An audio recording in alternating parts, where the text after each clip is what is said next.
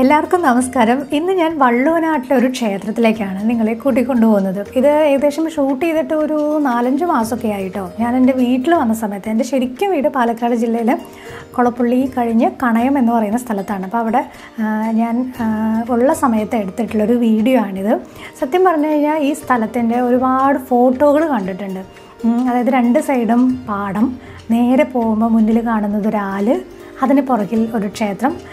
ഈ ഒരു പാടം ഇപ്പോൾ കൊയ്ത് നിൽക്കുന്നത് കൊണ്ടാണ് ആ ഒരു ഭംഗി കിട്ടാത്തത് കേട്ടോ. അത് പാടം പച്ചപ്പായിട്ട് നിൽക്കുന്ന ഒരു സമയത്ത് കാണാൻ നല്ല ഭംഗിയാണ്. ഇപ്പം എന്തായാലും ഈ ഒരു ആ ഒരു സമയം കഴിഞ്ഞതുകൊണ്ട് എന്തായാലും ഈ ക്ഷേത്രത്തിനും പ്രത്യേകതകളുണ്ട്. അപ്പോൾ എനിക്ക് തോന്നുന്നു എന്തായാലും ഇനി മാറ്റി വെച്ചിട്ട് കാര്യമില്ല എന്ന് വിചാരിച്ചിട്ടാണ് ഈ ഒരു സമയത്ത് തന്നെ വന്നത്. ഇവിടെ എനിക്ക് തോന്നുന്നു ഒരുപാട് പേർക്ക് യാത്രയൊക്കെ കൂടുതൽ ഇഷ്ടപ്പെടുന്ന ആളുകൾ അനങ്ങന്മലൊക്കെ പോയിട്ടുണ്ടാവും. അത് ഇവിടുന്ന് ഒരു രണ്ട് കിലോമീറ്ററേ ഉള്ളൂ. എന്ത് ഭംഗിയാണല്ലേ ആൽ കാണാനായിട്ട് ആൽ എന്ന് പറയുന്നത് ഒരു ക്ഷേത്രത്തിന്റെ എപ്പോഴും പരിസരങ്ങളിൽ ഉണ്ടാവുന്നൊരു കാര്യമാണ്. അതിന്റെ ചുവട്ടിൽ ഇരുന്ന് സംസാരിക്കുക എന്ന് പറയുന്നത് മറ്റൊരു എനർജി നൽകുന്ന ഒരു കാര്യമാണ് അല്ലേ? എന്തായാലും ഈ ഗ്രാമത്തിലുള്ളവരൊക്കെ ഇവിടെ വരാറുണ്ട് വന്നിരിക്കാറുണ്ട്. അതൊക്കെ നമ്മളിപ്പം വരുന്ന വഴി തന്നെ കണ്ടു. ഇതിപ്പം ക്ഷേത്രത്തിന്റെ ബാക്ക് വശമാണ് കേട്ടോ. അപ്പോൾ വണ്ടിയിൽ വരുന്നവരൊക്കെ ആണെന്നുണ്ടെങ്കിൽ ഇങ്ങനെ തന്നെയാണ് ഈ ക്ഷേത്രത്തിലേക്ക് വരിക പിന്നെ ഇവിടുത്തെ ഒരു പ്രത്യേകത എന്താണെന്ന് വെച്ച് കഴിഞ്ഞാൽ സ്വയംഭൂവായിട്ടുള്ള ശങ്കരനാരായണ പ്രതിഷ്ഠയുള്ള ഏക മഹാക്ഷേത്രമാണ് ഇതാണ് ഇതിന്റെ മുൻഭാഗം. ഇവിടുത്തെ ഉത്സവം എന്ന് പറയുന്നത് കുംഭമാസത്തിൽ തിരുവോണം നാളിലാണ്. അതും രാത്രിയാണ് കൊടിയേറ്റം.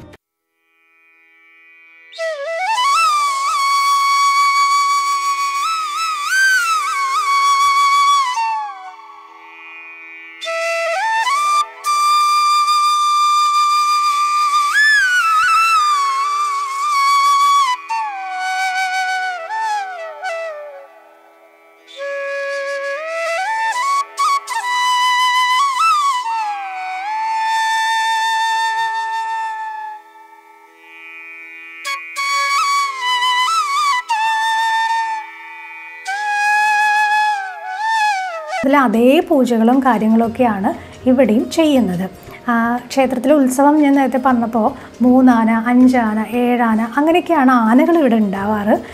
ഉത്സവത്തിന്റെ കാര്യങ്ങളും ഒക്കെ ഇവിടുത്തെ തിരുമേനി പറഞ്ഞു. ഉത്സവത്തിന് നമുക്കറിയാലോ ഒരു ദേശത്തിന്റെ ഏറ്റവും വലിയ സന്തോഷം എന്ന് പറയുന്നത് ആ ക്ഷേത്രത്തിന്റെ ഉത്സവം നടക്കുന്ന ഒരു സമയമായിരിക്കും അല്ലേ?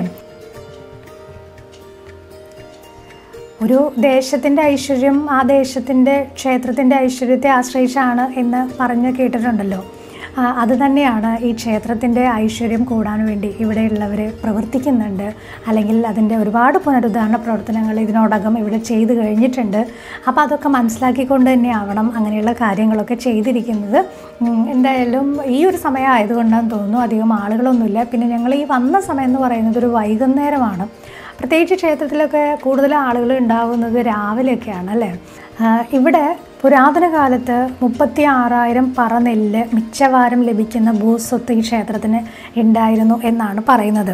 അക്കാലത്ത് ഗുരുവായൂർ ക്ഷേത്രം കഴിഞ്ഞ ഭൂസ്വത്തിലും പ്രൗഢിയിലുമൊക്കെ രണ്ടാം സ്ഥാനം നേടിയിട്ടുള്ളൊരു ക്ഷേത്രമാണ് ഇത്. ഇപ്പോൾ നമുക്കറിയാലോ ക്ഷേത്രത്തിന് അത്ര ഭൂമിയും കാര്യങ്ങളും ഇപ്പോൾ ഒന്നും തന്നെ ഇല്ല എന്ന് തന്നെ പറയാം. പണ്ടത്തെ കാലത്ത് ഈ പനമണ്ണ സ്ഥലത്ത് അൻപത്തിയാറ് ഇല്ലങ്ങൾ ഉണ്ടായിരുന്നു എന്നാണ് പറയണത് അപ്പോൾ കേരളത്തിലെ ബ്രാഹ്മണർക്ക് വേദപഠനം നൽകിയിരുന്നതൊക്കെ ഈ ക്ഷേത്രത്തിൽ വെച്ചിട്ടാണത്രേ.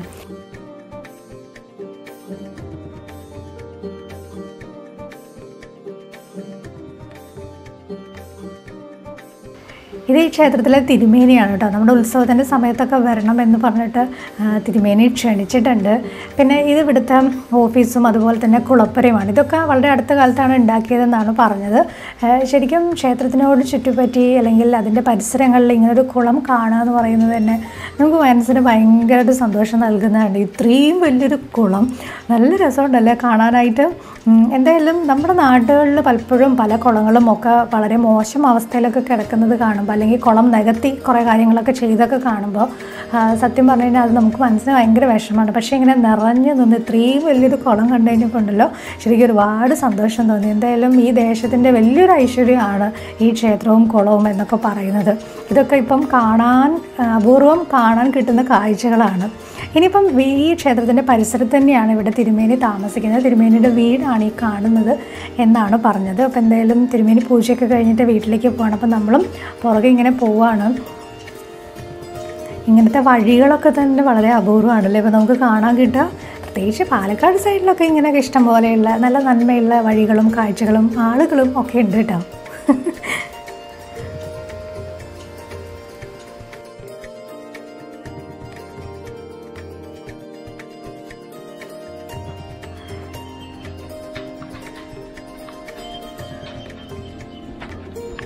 എന്തെന്നാ ആ.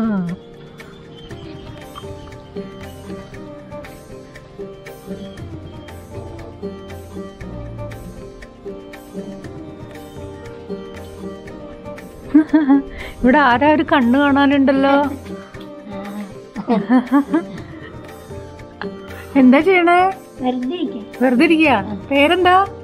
പേര് പേര് പാർവതി. പാർവതി. ശരി.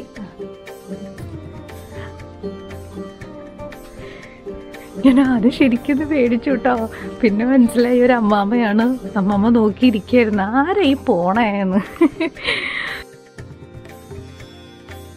കോഴിക്കോട് സാമൂതിരി രാജാവിന്റെയാണ് കേട്ടോ ഈ ക്ഷേത്രം.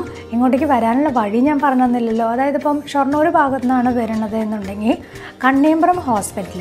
ആ കണ്ണിയമ്പുറം സെന്ററിൽ നിന്ന് ലെഫ്റ്റ് ഒരു മൂന്നര കിലോമീറ്ററാണ് ഇങ്ങോട്ടേക്കുള്ള ദൂരം. അതുപോലെ ചെർപ്പളശ്ശേരി ഭാഗത്തു നിന്നാണ് വരുന്നത് എന്നുണ്ടെങ്കിൽ പനമണ്ണയിൽ നിന്ന് രണ്ട് കിലോമീറ്റർ പനമണ്ണയിൽ നിന്ന് റൈറ്റ് രണ്ട് കിലോമീറ്റർ. അപ്പോൾ എന്തായാലും നിങ്ങൾക്ക് ഇഷ്ടപ്പെട്ടിട്ടുണ്ടെങ്കിൽ തീർച്ചയായിട്ടും നിങ്ങൾ ഈ ഒരു വീഡിയോ ലൈക്ക് ചെയ്യുക അതുപോലെ നിങ്ങളുടെ അഭിപ്രായങ്ങൾ അറിയിക്കുക. ഈ ഭാഗത്തുള്ളവരാണ് ഈ വീഡിയോ കാണുന്നത് എന്നുണ്ടെങ്കിൽ നിങ്ങൾ എന്തായാലും കമന്റ് ചെയ്യുക. പനമണ്ണ ശങ്കരനാരായണ. സ്വാമി ക്ഷേത്രത്തിൽ നമ്മൾ വന്നു തൊഴുതു. നിങ്ങൾക്കും വീഡിയോ ഇഷ്ടപ്പെട്ടിട്ടുണ്ടാവുമെന്ന് വിചാരിക്കുന്നു. എന്തായാലും ഈ ഒറ്റപ്പാലം അല്ലെങ്കിൽ ഈ ഭാഗങ്ങളിലേക്ക് വരുന്നവർ തീർച്ചയായിട്ടും വന്നൊന്ന് കാണുക.